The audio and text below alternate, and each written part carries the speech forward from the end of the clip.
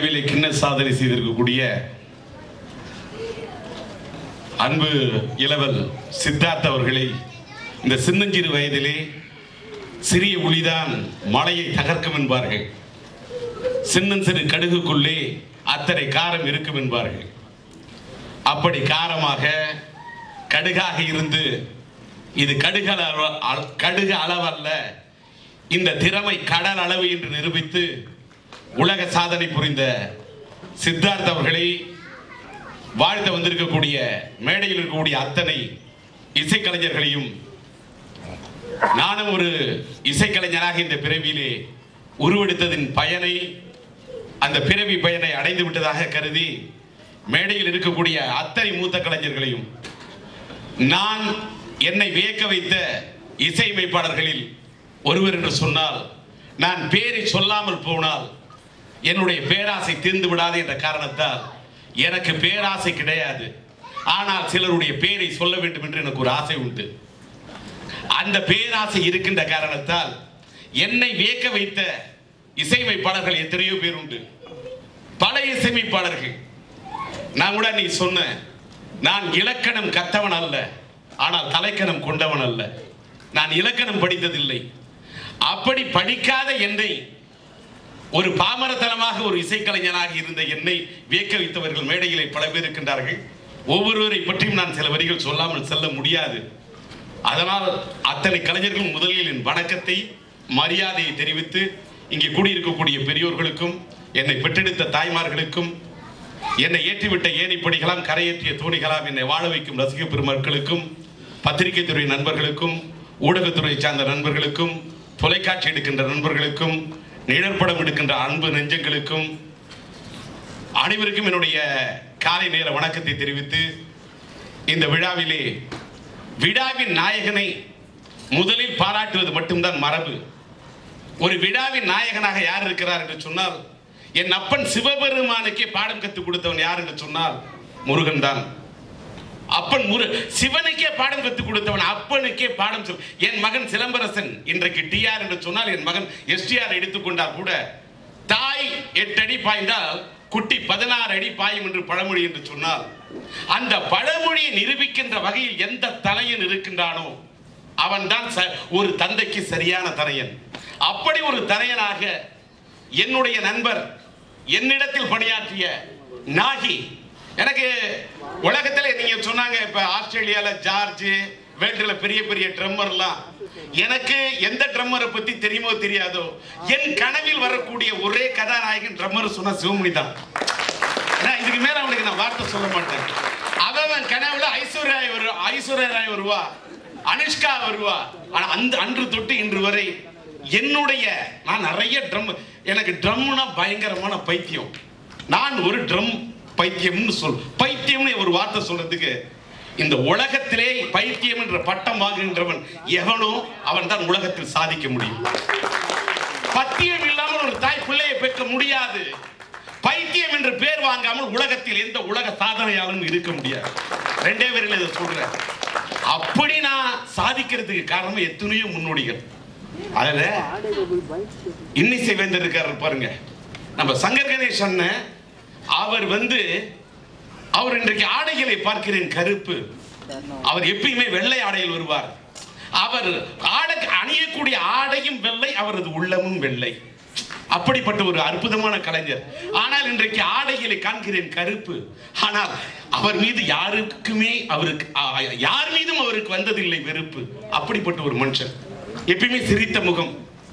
நான் என்ன சொல்லுவார் நம்ம லக்ஷ்மண் சுருதி வந்து உடனே என்ன ஆரம்பத்தில் பேசணும்னு நான் ஃப்ளைட்டுக்கு போகிற காரணத்துக்காக தான். அதுவும் நாளைக்கு எனக்கு அவசரமாக சென்சாரு. என் மகன் நடித்த படம் இது நம்மளுடைய தெலுங்கு வெர்ஷன் சரசுடு நாளைக்கு காலையில் சென்சார் இருக்கு. காலையில் கோயர் ஃப்ளைட்டு ஏழு இருபதுக்கு. அந்த ஃப்ளைட்டே கேன்சல் ஆன காரணத்தால் இன்னைக்கு அவசரமாக போகிறேன் நாளைக்கு காலைல ஏழு மணி ஏழு இருபதுக்கு இருக்கிற காலையில் ஃப்ளைட்டில் தான் நாளைக்கு போகிறதா இருந்தேன். ஏன்னா இந்த ஃபங்க்ஷனுக்கு நான் வந்தே தீரணும்னு நாகி எனக்கு கொடுத்த அந்த இதுக்காக வந்தேன்.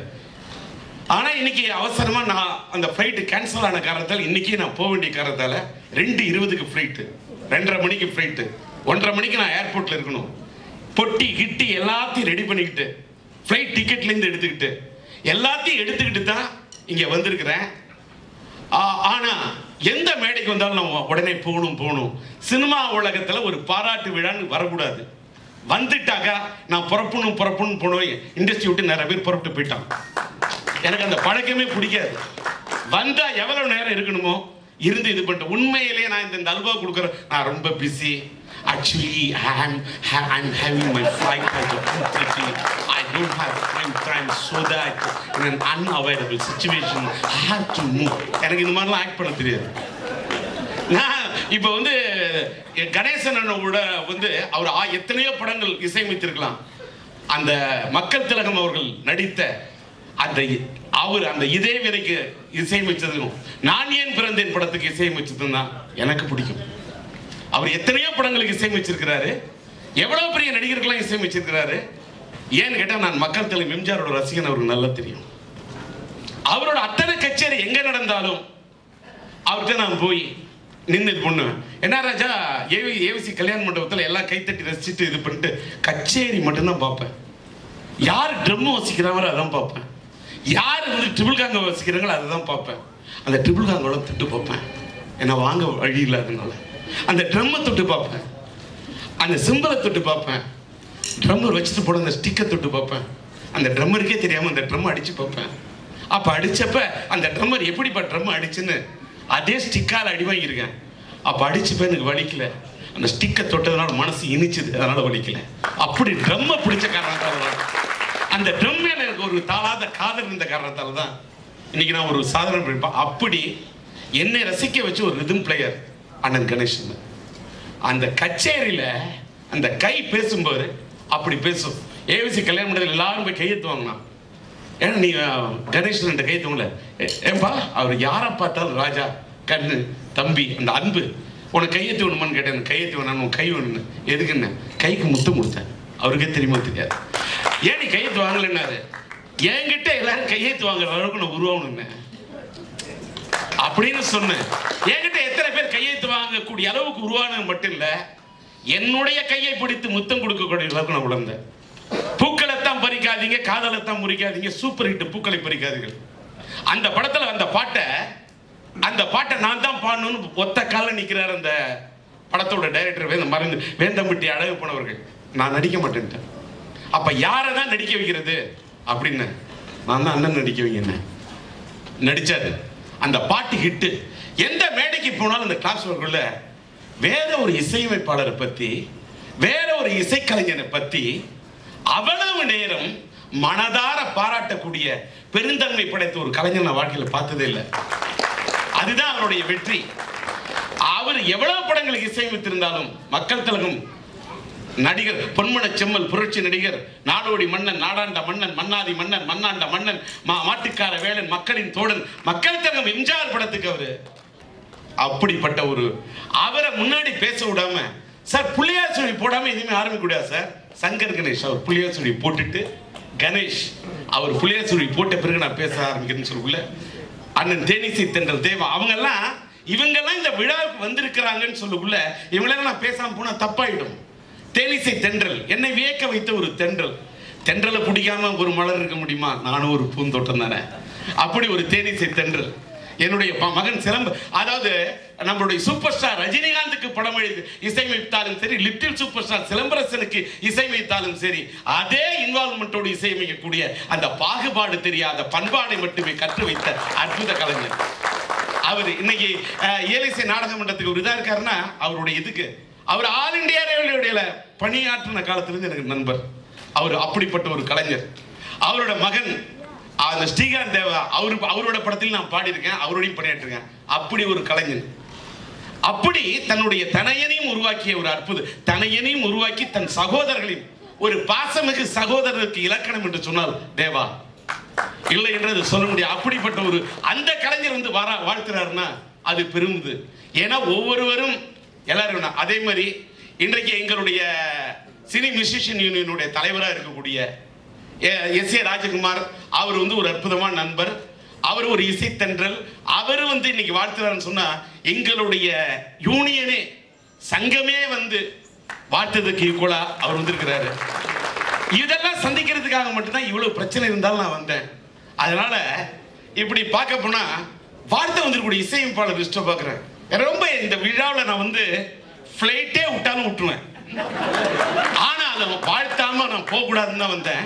என்னோட இந்த மேடையில் இந்த லிஸ்ட்டை பார்த்து தான் வந்தேன். நாகி சொன்ன மாதிரி மர வரான்னு யாராருன்னு எனக்கு ரொம்ப பிடிச்ச கலைஞன் சிவமணி. உலகத்திலேயே சக்தி இருக்கிறவன் ஜெயிக்க முடியாது சார். குரு பக்தி இருக்கிறவன் மட்டும்தான் ஜெயிக்க முடியும். எவனோ பேருக்கு சக்தி இருக்கும் யுக்தி இருக்கும் அவளாம் ஜெயிச்சிட முடியாது. குரு பக்தி இருக்கிறவன் மட்டும்தான் ஜெயிக்க முடியும். அன்னைக்கு ஜீ தமிழ்ல என்னை பத்தி பேசும்போது அவனே சிவமணி.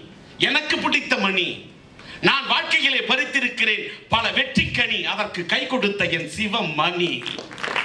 அந்த சிவமணி அவன் சொல்றான் தாளத்தில் எங்க அண்ணன் டி ராஜேந்தர் சிவன் எல்லாரும் இந்த ஃபோன் பண்ணி ஃபோன் பண்ணி. அவன் ஏதோ ஆர்வத்தில் சொல்லியிருப்பான். தம்பி அவன் சொல்லக்கூடாது வளர்ந்துட்டான் மாதிரி இல்லை அதில் அவன் சரி சொல்லலாம். அப்படின்னு ஆ, எனக்கு அந்த உரிமை இருக்கு. அதனால வந்து அந்த நோயல் மேலே ஆடாடாடா அவங்க சொன்னார் பாருங்க அண்ணன் கணேசன் அதான். அந்த ஏகலைவன் துரோணர் வித்தையை கத்துக் கொடுக்க கூட நான் கற்றுக்கொள்வேன் என்று ஒரு துரோணராக மனதில் நினைத்துக் கொண்டு ஒரு ஏகலைவனாக அந்த வித்தையை கற்றுக்கொண்ட என் சிவமணி. எனக்கு உலகத்துல எந்த சாயம் ஆனா எனக்கு எவனையுமே எந்த ட்ரம்மரை பத்தி எனக்கு கவலை கிடையாது. எனக்கு பிடிச்ச ட்ரம்மர் அதான் சொன்னேன் அன்னைக்கு சிவமணி. திலீப்பாக இருக்கக்கூடிய ஏ ரகுமான் வார்த்தைக்கு வார்த்தை நிமிஷத்துக்கு நிமிஷம் டி ராஜேந்தர் பத்தி தான் நானு பாலா ஆஹ், எங்க சின்ன அதே மாதிரி சிவமணி சொல்ற மாதிரி நான் ஏ ஆர் ரஹ்மான் எல்லாரும் நாங்க வந்து டிஆர் விசாரிப்போம். ஏன்னு அப்படின்னு சிவமணி சொல்ற மாதிரி. ஆனா அதே சிவமணி வச்சுட்டு மேடையில சொல்றேன். ஏஆர் ரகுமான் ஆன பிறகு அவர் ஏ- ரோஜா படத்துக்கு இசையமைத்த பிறகு திலீப்பா இருந்த வரைக்கும் தான் அவர் எனக்கு தெரியும். அவர் ரோஜா படத்துக்கு இசையமைப்பாளராகி உயர்ந்த பிறகு அவர் ஆஸ்கருக்கு உயர்ந்த பிறகு கூட ஒரு நாள் கூட அவர் கிட்டக்க போய் நான் நின்னேன்.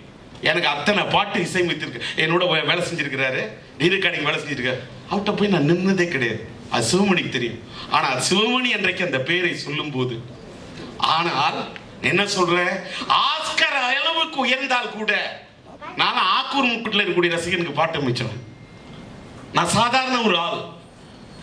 ஆனால் ஏ பணியாற்றி கொண்டிருந்தாலும் பக்கத்திலே இருந்தாலும் தன்னுடைய டீராய் நான் டிஆரோட ட்ரம்மர் என்று வெளியிலே சொல்லக்கூடிய அளவுக்கு என்ன பிறந்தம்னு?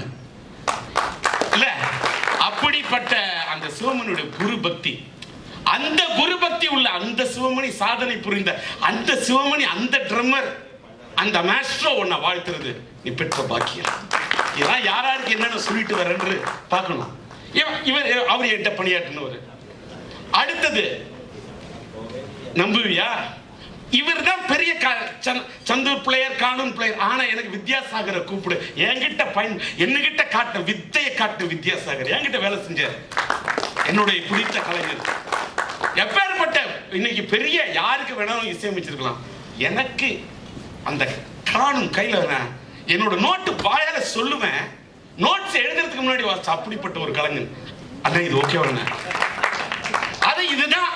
அப்படின்னா சிவமணி ஏய் எனக்கு இப்படிதான் வேணும். இதான் ரிதும் என்ன நான் ஒரு பேர் ஒன்று நான் சொல்றதை நீ வாசிக்கணும். இதை வாசிச்சு காட்டிட்டு தான் நீ அப்புறம் வாசிக்கணுமே தவிர ஏன் நோட்டை விட்டு அந்தாண்டே மாத்துறது? நீ யாரு? சொல்லுவேன். ஏய் வாசிச்சு முடிச்சோன்னு நான் உனக்கு சம்பளம் தரேன். நான் கொடுக்குற நோட்டு நீ நான் என்னோட நோட்டை தான் நீ வாசிக்கணும். சரி சரி. நான் நோட்டு கொடுக்குற ப்ரொடியூசர் நான் தான் நான் கேட்கிற நோட்டு வாசிக்கணும். வாசிச்சுட்டு அண்ணே அது ஓகேண்ணே ஒரே தெரியல இது ஒன்று வச்சிருங்க. இதை கேட்குறீங்களா? கொடு. கொடுப்பா. இது எப்படின்னு இருக்கு? இதான் இதான் ஃபிக்ஸ் வச்சுக்க. அப்படி தட்டி கொடுத்து தட்டி கொடுத்து என்கிட்ட வளர்ந்த அந்த சிவமணியை பார்க்கும்போது இந்த வித்யாசாகரை பார்க்கும்போது அதே மாதிரி என்கிட்ட பணியாற்றி எனக்கு வந்து கண்டக்டரா இளையராஜாட்ட யார்ட்டன எம்எஸ்சியை பிடிக்கும் எனக்கு இசைஞானியை பிடிக்கும். அதே மாதிரி நம்மளுடைய தினா மாஸ்டர் தினா இல்ல என்கிட்ட பணியாற்ற ஒரு ஒரு அற்புதமான கலைஞர். ஐயோ அப்படி ஒரு திறமை. இல்லாட்டா திருடா திருடி இதயத்தை திருட முடியுமா? அப்படி ஒரு கலைஞர்.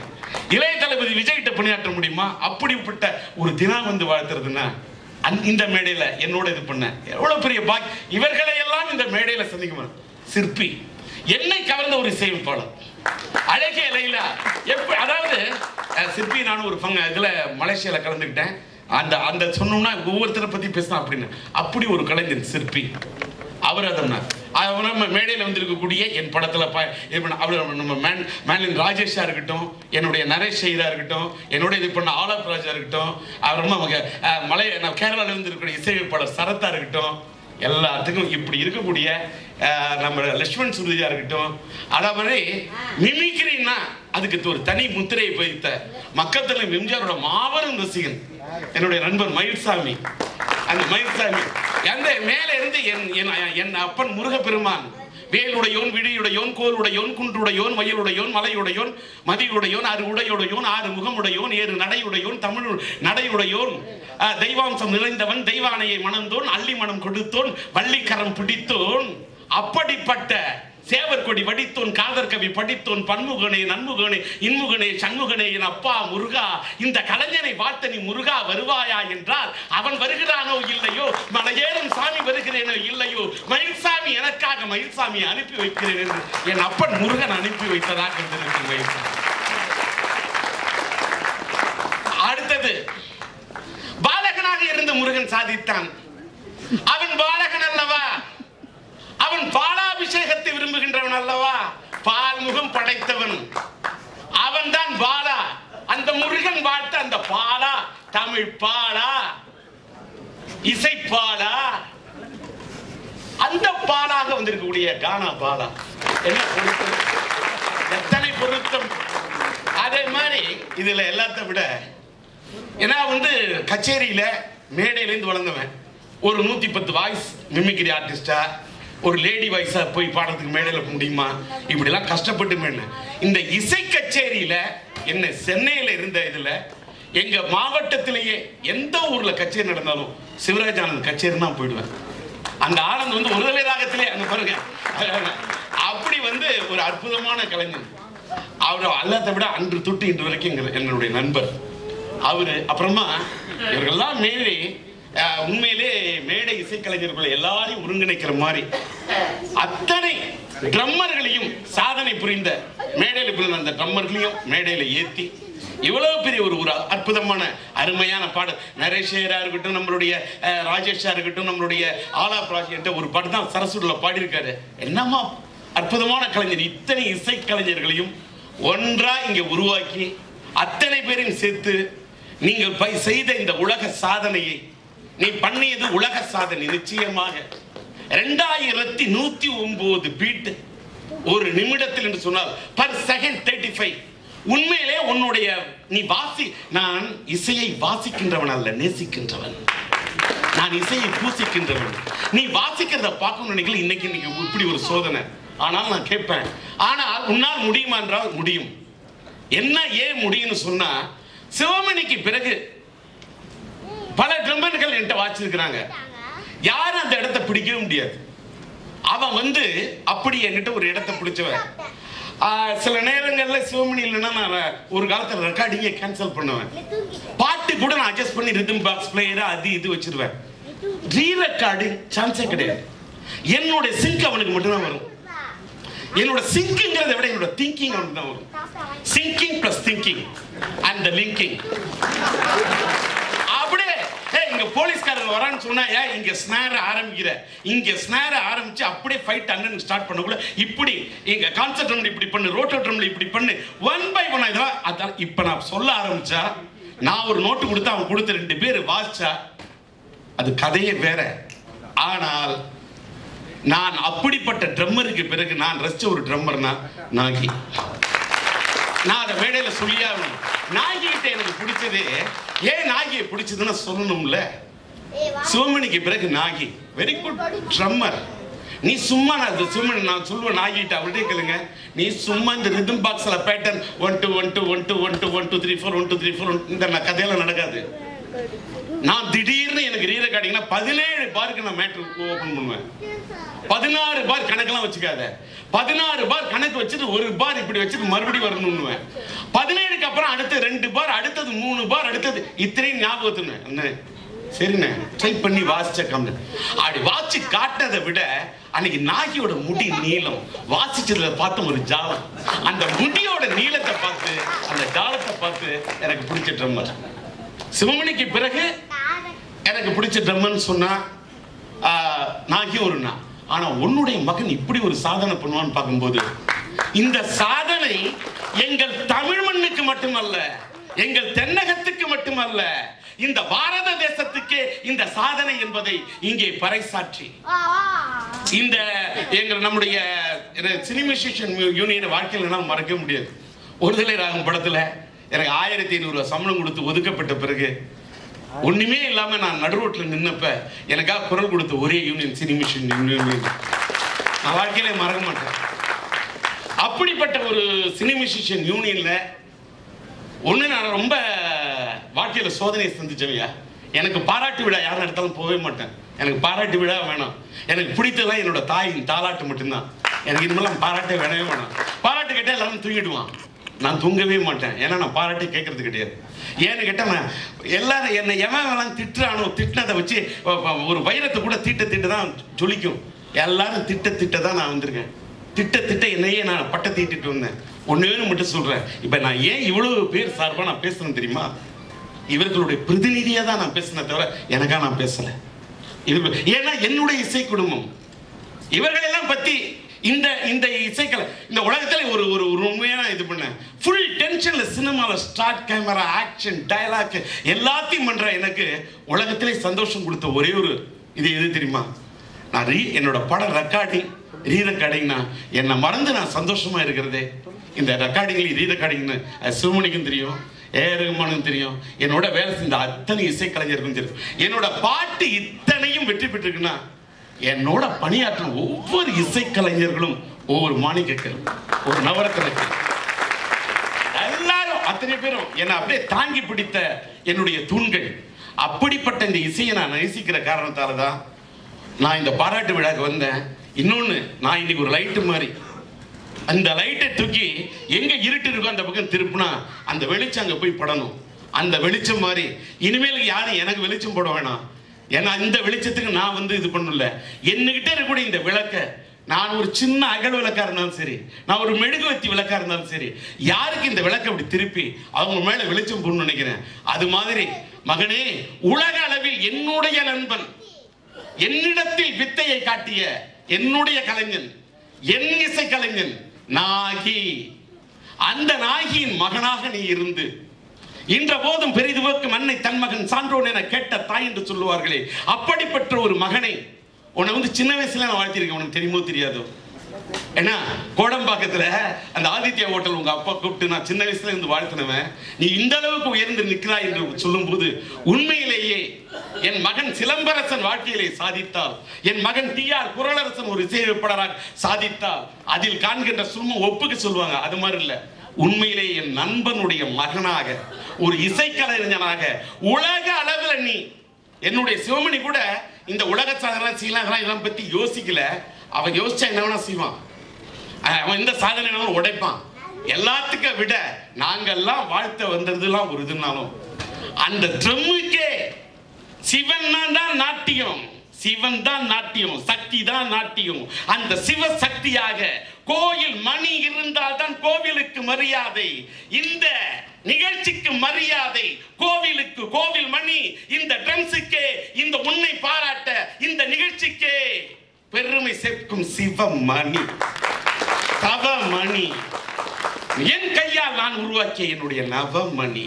நவமணி என்றால் சூரியன் சந்திரன் செவ்வாய் புதன் வியாழன் வெள்ளி சனி ராகு கேது என்ற ஒன்பது கிரகங்களுடைய அடக்க நவமணி நீ சிவமணி அந்த சிவன் கண்டெடுத்த என் தமிழகத்தின் தவமணி. அந்த தவமணியே நவமணியே சிவமணியே நீ மனதார இந்த சித்தார்த்தை வாழ்த்த வேண்டும் நீங்கள் அத்தனை பேரும் வாழ்த்த வேண்டும். எங்கள்கிட்ட நான் கொஞ்சம் இந்த நிகழ்ச்சியில் வந்து உங்களோட வாழ்த்துதெல்லாம் கேட்காம நான் புறப்படுறதுக்காக என்னுடைய வருத்தத்தை தெரிவித்து இத்தனை நேரம் இந்த நிகழ்ச்சிக்கான பொருத்தத்தை சொன்னேன். இப்பொழுது என்னுடைய வருத்தத்தை தெரிவித்து விடைபெறுகிறேன். நன்றி. வணக்கம்.